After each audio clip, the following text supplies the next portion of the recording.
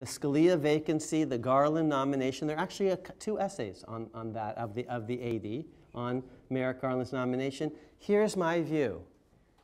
Um, and a lot of times, the views that I describe in, uh, that I put forth in the book, my constitutional analysis, is different than my personal political beliefs. I like Merrick Garland. I think he's a great man. I'd love to see him confirmed.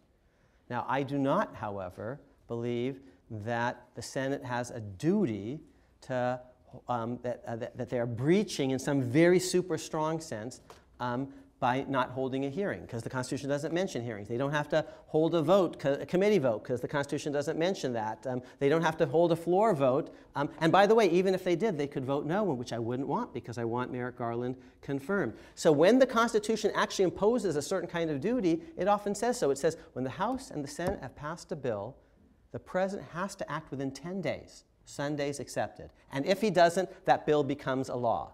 And they could have said whenever the president sends up a nominee, the Senate has a certain number of days, and if they don't act, the person gets on the court. And the Constitution, in fact, doesn't say that. Now, I want Garland confirmed, but, um, and I think that actually it's very unfortunate that he hasn't been, but not because they're strictly speaking, uh, uh, my, fr- my Republican friends in the Senate are violating the Constitution. Now, let me make the best case for them, and then what should we do? Here's the best case for what the Republicans are doing. They say, yes, Barack Obama won in 2012. But we, Republicans, won in 2014. We took back the Senate, and our constituents sent us to basically thwart his plans, especially anything that he might try to do to project his vision into the future. Half of us were elected on basically a platform, one word platform, no. The other half of us, Republicans, were elected on a two word platform, hell no.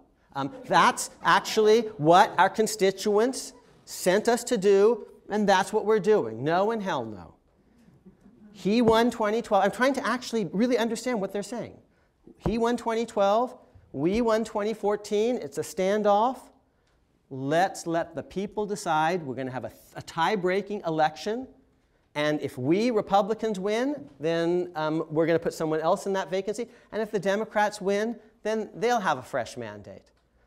That's not, seems to me, a preposterous view that presidential elections are not bugs but features, that direct senatorial elections are not bugs but features. I said earlier, in effect, that all the branches of government are on the ballot. Our Constitution is designed so that presidents and senators pick judges. And the people get to pick presidents and senators. So this election is our chance to weigh in on that. I don't think that Presidents should pick justices, but justices should never pick presidents. That's why Bush versus Gore is a disgrace, and I have some um, essays on, on the disgrace that is Bush versus Gore. And I, I'm coming to a close now, so the basic thought here is we, the people, actually are going to, in effect, have a referendum on that open court seat.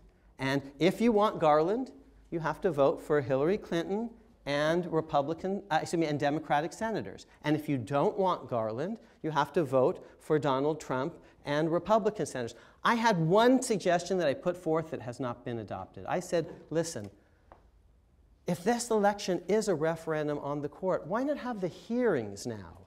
Let Garland make his case. Let his supporters make their case. Let his detractors explain why they actually don't think he should be on the court. Let's use this as an opportunity, because we do have an election, to educate the American citizenry about the court and its future. And if we do that, and if Hillary Clinton wins, we can confirm him in November, and now the Supreme, in mid-November, the Supreme Court won't limp along for another term short-staffed. That was the solution I put forward. It was not accepted. Um, but here's what I'll say just in conclusion. My constitutional views are different than my personal views. I'd love to see him confirmed immediately, but I can't stand up and tell you that the Constitution requires a hearing and a vote and a yes vote. Uh, let me say one final thing. This issue did come up not so recently, not, not, not so long ago. An ideological president in his last year facing um, uh, a Senate dominated by the other party. Ronald Reagan in 1987, he's as conservative a Republican as Obama is a liberal Democrat, and he faced a Senate of the opposition party, and we got Anthony Kennedy, who the Republicans could agree on and the Democrats. um, and who was the one person most on the Supreme Court who sometimes votes with Republican, Republicans and sometimes with Democrats, because almost no one else ever, ever um, uh, crosses the aisle. I think the Republic has been well served by Anthony Kennedy. My own view is that Garland is like that. The Republicans would like him. He'd be their favorite um, Democrat, a kind of um, Joe Lieberman like person, because he's not, he's not an, uh, a Bernie Sanders socialist. He's a, he's a, a person of, of great distinction and moderation. So I, so I wish the Republican Senate had done for him what a Democrat Senate uh, uh, led by Joe Biden and others, then Senator Biden, did for Anthony Kennedy. They didn't. I wish they had. Ours is a more polarized time. I actually talk a lot about political polarization um, in, in the book. But what can you do? You can vote.